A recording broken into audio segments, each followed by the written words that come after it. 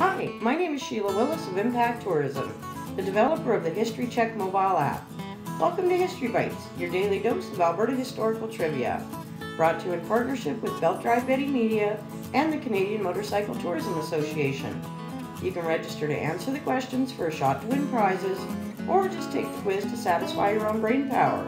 Either way, we're excited to see how much of Alberta's history you really know.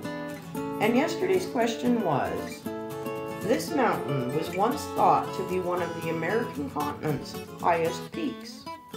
Is it A. Mount Hooker, B. Mount Brazeau, or C. Mount Columbia? And the answer is A. Mount Hooker. When the sight impaired Scottish botanist climbed to the top of a peak in, in what is now Jasper National Park on May 1st, 1827, he had no idea of the mon monumental blunder he was about to make.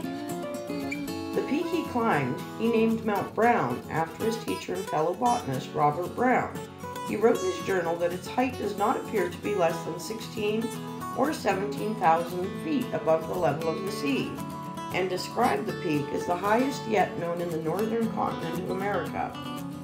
He looked across at an adjoining peak, estimated it to be about the same height, and named it Mount Hooker, after Sir William Hooker, a distinguished Scottish botanist who had adopted the young Douglas as his protege.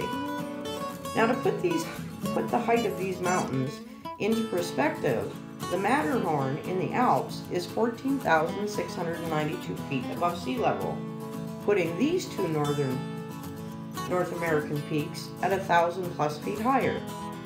When, when he was 35 years old, Douglas was killed in a climbing mishap in Hawaii. Two years later, Sir William Hooker published Douglas's first-person account in an 1836 edition of Companion to the Botany, pardon me, Companion to the Botanical Magazine.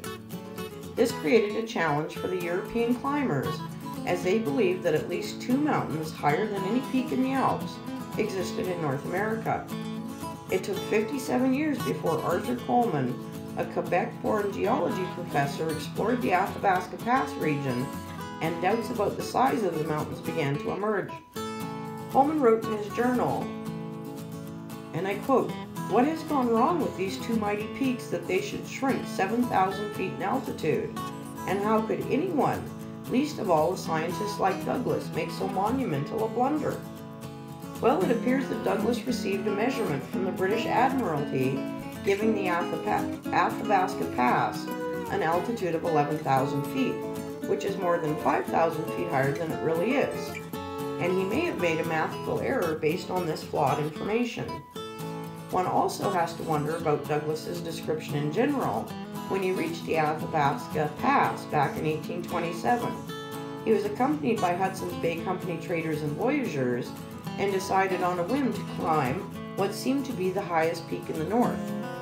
His choice what was to become Mount Brown. It's far from being the highest peak in the Rockies and not even the highest in the ranges surrounding Athabasca Pass. Perhaps snow blindness and an inflammation of the eye caused him to miss seeing the highest peaks. Regardless, for a while, those two mountains held titles as giants until further exploration put them back in their place. And tomorrow's question is, in 1915, the Medicine Hat Board of Trade contributed what amount to a promotional film? A. $46.95 B.